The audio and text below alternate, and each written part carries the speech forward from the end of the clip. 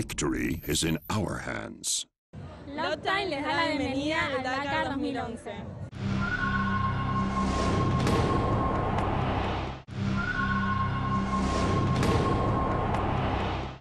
After a well-deserved rest day, the pilots were back on the Dakar's tracks this Sunday morning. On the menu for them, stage 7 between Arica and Antofagasta. Originally this was supposed to be the longest stage of this edition, but the selective section was reduced to 273 kilometers. In the bike section, the last two stages were clinched by Portuguese riders. Paulo Gonçalves won stage 5 and Helder Rodrigues won stage 6 on Friday. Observers expected the two favorites, winners of the last two Dakars, Marc Coma and Cyril Despres, to do their best to reaffirm their supremacy. Except that after the Lusitanians, a Chilean came to frustrate their plans. In the stage 2 Iquique, Francisco Chaleco Lopez missed the victory. This Sunday, he didn't let go of his chance to get a fifth stage win in his Dakar career. At kilometer 176, he had a four-minute lead over Coma. Chaleco's navigation has clearly improved compared to the previous editions, and his domination in his homeland was not to be opposed today.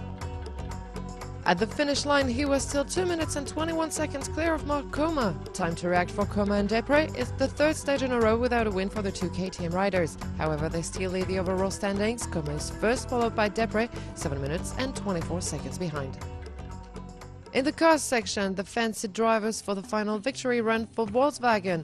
Their main rivals, the X-Raid team of BMW, seems to be dogged by bad luck. First, on Saturday during trials, Guerlain Chicherit flew his mini countryman off the track and the damages forced him to retire.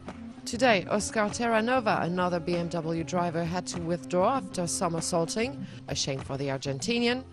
Their leader, Stéphane Peterhansel, seemed to be on a downward slope with a new flat tire after just 15 kilometers of racing today.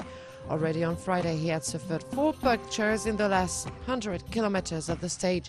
Today he drove conservatively and lost 7 minutes and 40 seconds to the stage winner, and his gap with the leader of the overall standings, Carlos Sainz, is now over 21 minutes.